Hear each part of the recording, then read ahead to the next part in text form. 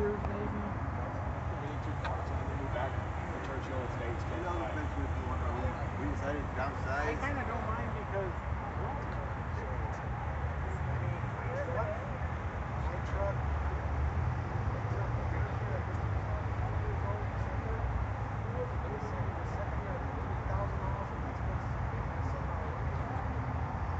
right now.